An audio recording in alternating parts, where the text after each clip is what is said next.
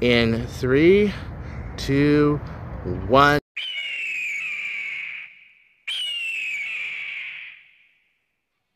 Go.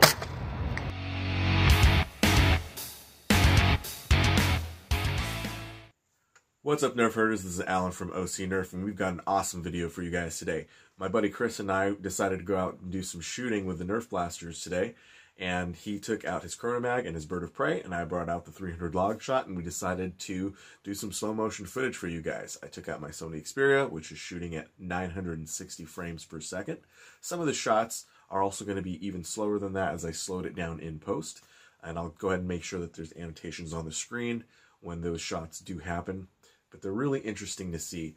What we were looking for today was we wanted to see what the shots looked like out of the barrel, down um, down range as well. We really wanted to get a lot of footage of the trajectory of our shots. This isn't all of the footage that we have, but this is the stuff that is going to be interesting enough for you guys on YouTube. The rest of it were a lot of flubs um, or stuff that's really more uh, just for us to kind of really take a look at. What you're going to be seeing in these shots are angles from behind the shooter, where we can see the shot leaving the barrel and heading down range. We can look at the trajectory of these shots. So we're looking for how straight these shots are going, um, how it's affected by the wind. The location that we were at uh, is next to an open field um, and a street.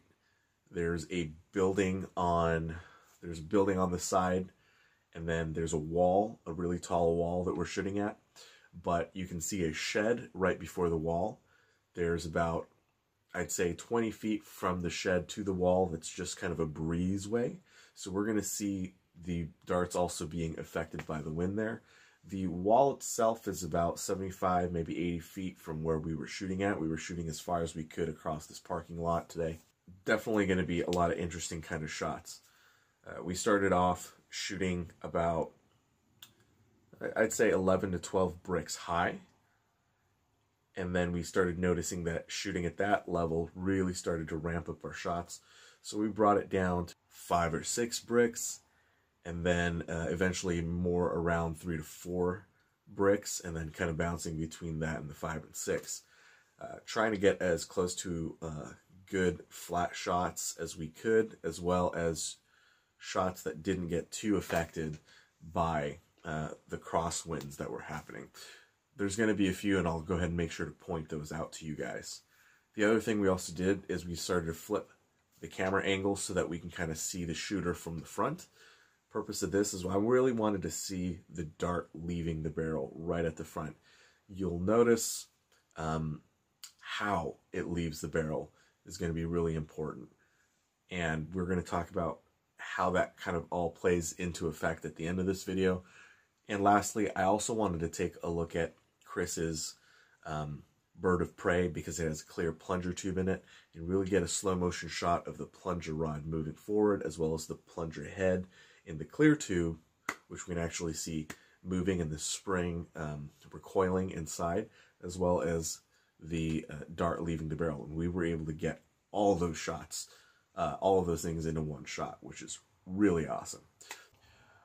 So we started really simple with the KronoMag, and we're going to go and start this video off there.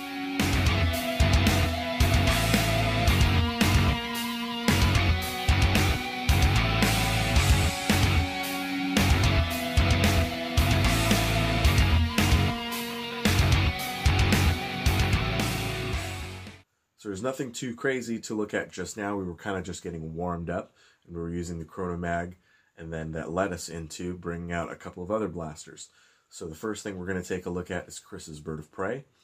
And in these shots, you're going to be seeing the darts um, flying through the air towards our target. The first one, I think, or the, one of them, you're going to start to see it arcing up pretty high, and that's because we were still aiming at about the 11th brick, I think.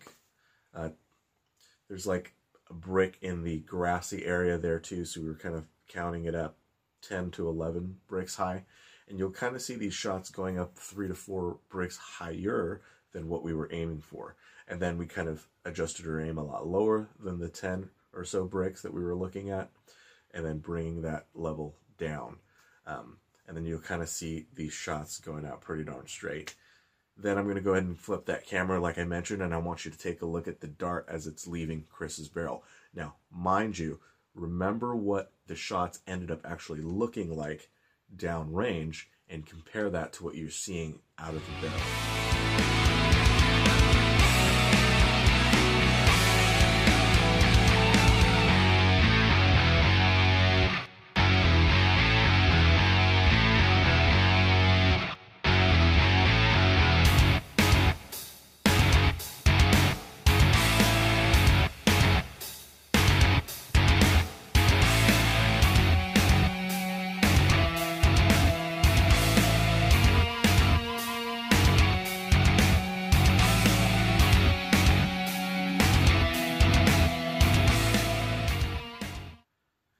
Last blaster that we have is the 300 long shot.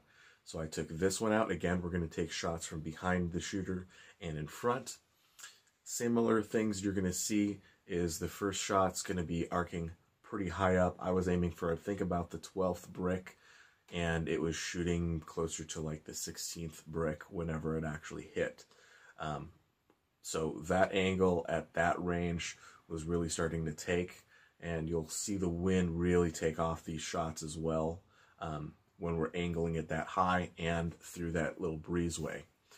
Went ahead and adjusted that down and started shooting it more straight across, um, which didn't seem straight across to us. You got to understand when we picked looking at maybe like the ninth or tenth brick, it seemed to be the straightest across, but it was getting our blaster angle to be much higher, so we had to drop it to around the fourth brick, I'd say, is where we were starting to feel really comfortable um, and starting to aim it there.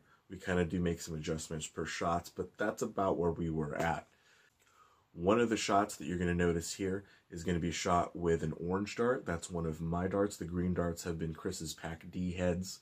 Uh, the orange darts, um, I'll explain in a future video, but they're also an amalgamation of different dart pieces that I kind of went and made. Um, so you'll kind of see a different shot with that one. Uh, it's the heaviest one that we shot all day. So you're going to see that one have a very interesting uh, kind of flight path. If you'll notice, it goes out fairly straight, kind of starts to go a little bit up and down. You'll kind of see this wobble, but it stays very true to target. Um, a lot of these shots actually do, despite what happens, but you you'll notice that it doesn't really get affected too much by the wind at the end. There's a little bit of an up and down, but in comparison to the rest, there really wasn't a whole lot of difference. And then you'll kind of see the shot from the front. The thing you'll notice from the shot in the front is the weight and the build of the 300 long shot really removes almost any kind of recoil and any kind of uh, harmonic uh, tuning that we may need to do with barrel. It's very, very fairly tuned because um, I was trying to pay attention to a lot of that, so I built this very solidly. And you'll notice the shot out of the barrel is very dead on straight, not any wobble at all to the dart. It's going out fairly straight. And you'll note that in Chris's Bird of Prey, he's using an Ultra Match barrel, which has no rifling. It's a smooth bore that opens to 9 16ths ported. And on my 300 long shot, it is using um, my build, my take on Chris's Merlin rifling muzzle. Uh, it's a 1 in 16th twist, uh, which is a very slow twist rate, but it is twisting the dart. And you'll kind of see how that takes effect here.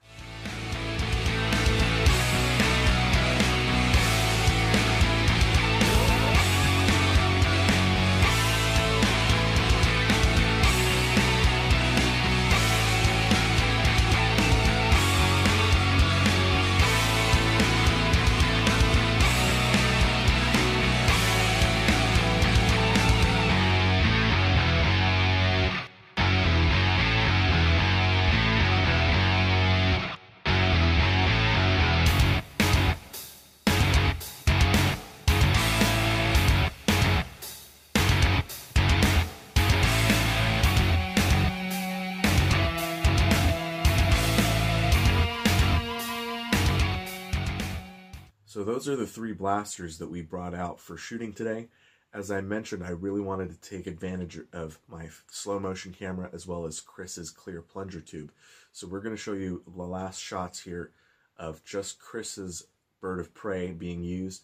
I really want you to pay attention to a couple of things. One, I want you to pay attention to that barrel harmonic. The barrel harmonics, I'll go through this in a later video, but is how much does recoil kind of affect the, the movement of that barrel. So I want you to kind of pay attention to that and the rest of the recoil altogether, which is also the spring kind of going in and out, which I thought was really cool. I've never really seen a slow motion shot of the plunger tube inside of a blaster, so we're going to get to see that today.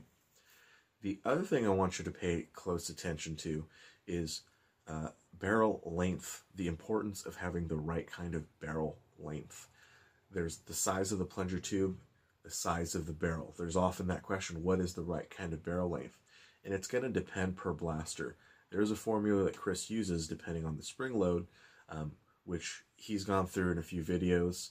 I'll try to find it and link it down in the description below, or at least link to his channel where hopefully you guys will be able to find it. Um, I may also cover it in a future video as well, but using that kind of formula, which I've done as well, um, which the reason I did is because it matches up with some of the empirical testing that I've done in the past. I didn't use a formula, I kind of just gauged it based on other factors, um, sound, air re remaining, and all that kind of stuff, and how well it flies and what happens when I shorten it. So a lot of the stuff that Monitors have been doing, Chris just kind of came up with a formula so he can get a good start and then kind of adjust from there, which is pretty much what I'm doing now. Now, when you see the shot of his blaster, you're going to notice that the dart just leaves right before the plunger completes its um, travel. I mean, literally right before. It almost, it feels like it's right on top of it, but it's just a hair before. Now that's really important because it means that the barrel length is just right. If it was too short, you'd see that dart way out well before the uh, plunger tube completes its travel, then you've got some waste, a lot more wasted air actually. And if you see that plunger hit and then you see the dart leave, then you've got a barrel that's a little bit too long. And at that point, there's no more compression force inside of your system.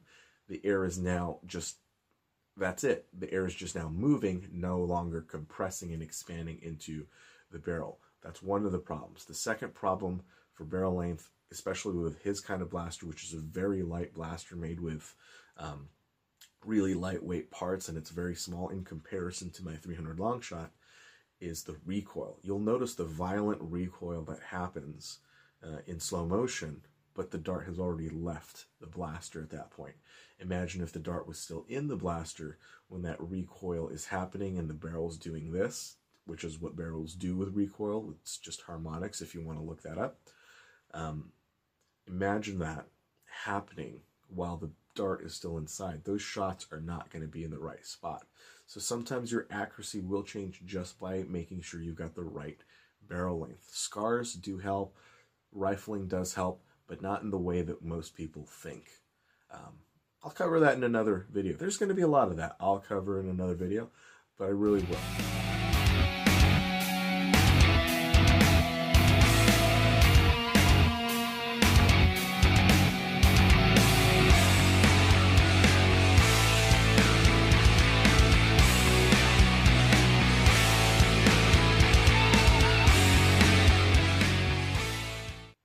Okay, well, those are the footages that I've got that are pretty good enough to show here on the channel. Um, if you have any further questions about this, please leave them in the comment section below. I do want to expand on everything Chris and I were able to learn from these footages and other footages that we took from this day. Um, things that we've been talking about regarding our blasters. I really do want to expound on the accuracy side of internal and external ballistics into our blasters. So if you have any sort of questions like that, please, please, please leave them in the comment section below. If you find any of this stuff interesting or useful or um, uh, worth sharing to others, go ahead and please do that. Go ahead and uh, you know share this video, hit the like button, subscribe if you're new to this channel, and thank you guys for watching it. I'm going to leave you with uh, just some footage from our recent SCUN War, um, which is Southern California United Nerf. We also have a new channel just for just for our uh, Southern California group here. Um, and there's more footage there on that channel from this uh, from this event. Not much because my camera had issues, uh, but also there's some loadout videos of what uh, we at SCUN have um, as a loadout. Uh, so I hope you guys enjoy it. Hope this video has been pretty awesome and interesting and educational. Thank you guys for watching and Nerf on everybody.